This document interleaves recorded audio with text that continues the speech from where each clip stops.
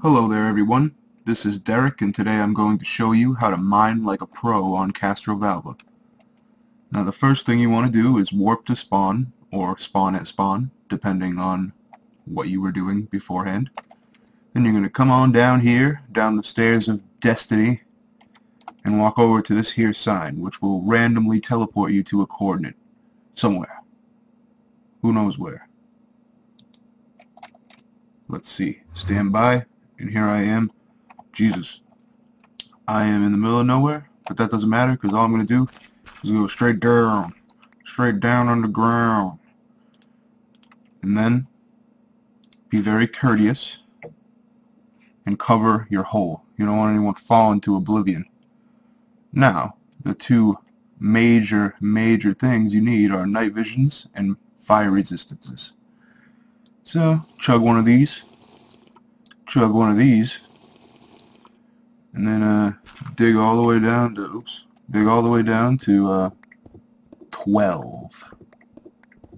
And it doesn't matter if you fall in lava, because nothing's going to happen, because I can swim in lava.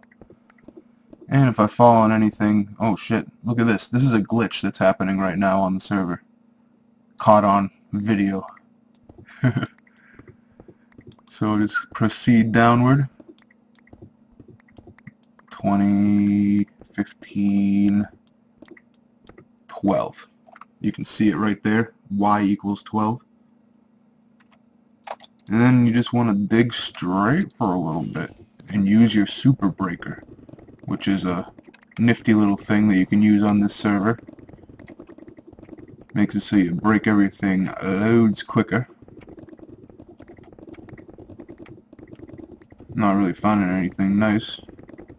All these are fake, because there's a glitch going on. All those emeralds that you might be seeing. Alright, see, I found a redstone there. Nice. At least I have a redstone. A couple of them. See, I'm not really here for redstone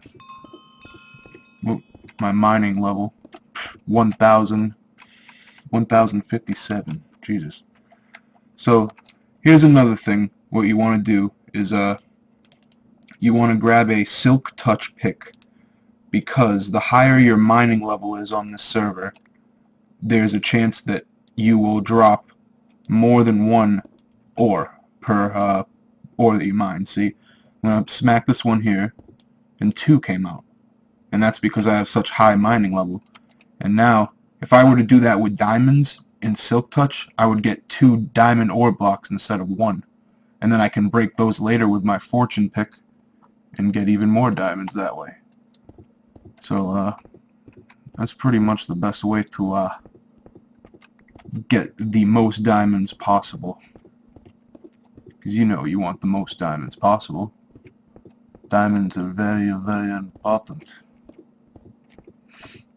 Doesn't look like we're finding any though. Found some schmiron and some credstone.